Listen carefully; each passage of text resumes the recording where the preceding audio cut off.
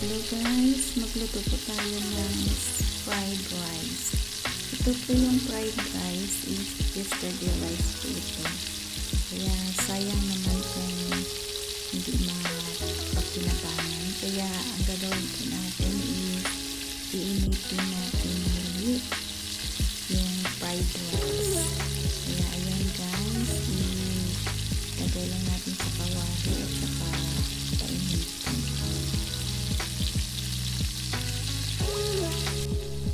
Ilagay po natin yung prawn. Ang prawn na ito po guys is yesterday din po ito na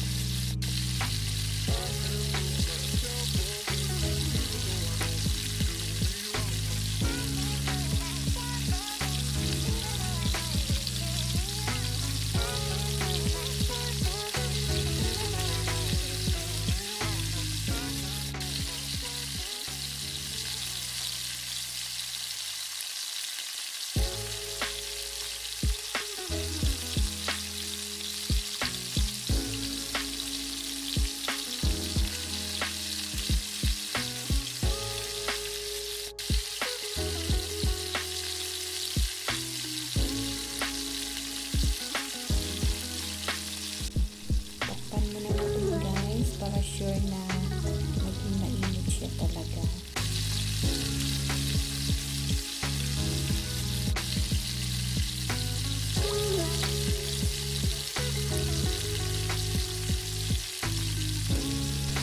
Ayan. Wow, mukhang masarap to siya. O diba, papakinabangan na natin yung yesterday rice at saka yung yesterday prawn.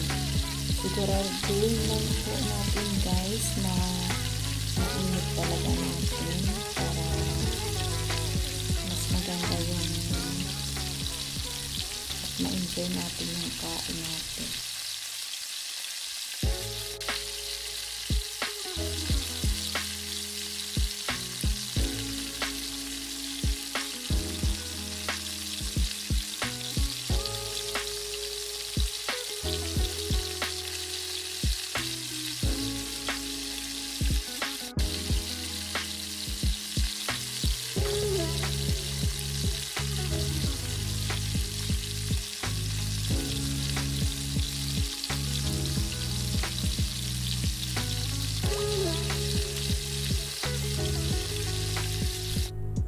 guys, tapos na yung pag-iinit natin.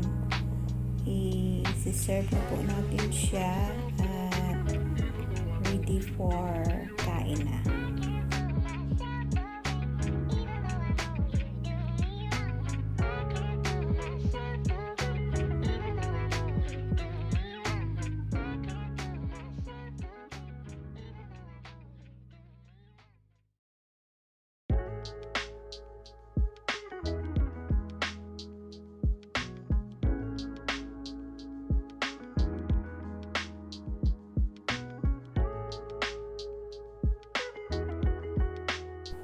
O ayan guys, di ba mukhang masarap pa rin siya. Ito po yung leftover kahapon na fried rice at saka prawn.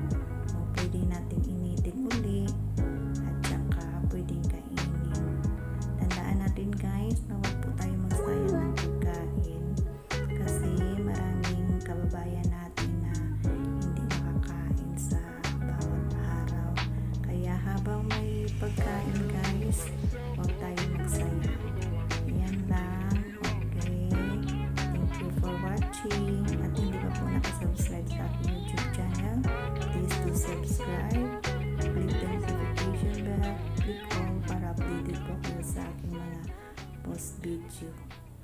Thank you guys. Merry Christmas. Masarap.